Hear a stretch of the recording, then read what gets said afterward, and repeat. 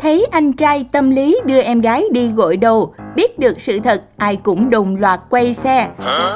Mới đây, một đoạn clip được đăng tải trên mạng xã hội TikTok làm dân tình không khỏi suýt xoa.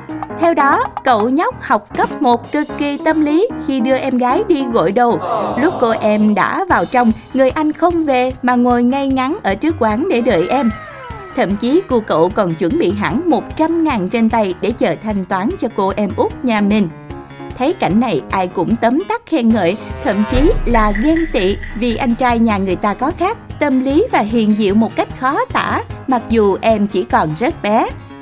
Tuy nhiên khi chủ nhân đoạn clip này tiến đến gần để bắt chuyện, hỏi sợ em bị bắt cóc hay sao lại không để em đi một mình, thì cô cậu trả lời một cách hết sức dứt khoát. Tại nó xin tiền mẹ đi gọi đầu mà mẹ cháu không có tiền lẻ nên sai cháu đi theo để cầm tiền thừa mang về, kẻo sợ em nó quỵt. Nghe đến đây thì ai nấy đều đồng loạt quay xe vì cứ tưởng câu chuyện cảm động giữa hai anh em. Nào ngờ đâu lại là sự thật cảm lạnh đến rớt nước mắt. Được biết sau khi gội đầu xong, anh trai đã chạy vào tính tiền rồi hai đứa khoát vai nhau về. Còn số tiền thừa được thối lại cũng không thấy cô em gái được sờ vào một lần nào luôn. Cảm ơn các bạn đã theo dõi tin nhanh 3 phút.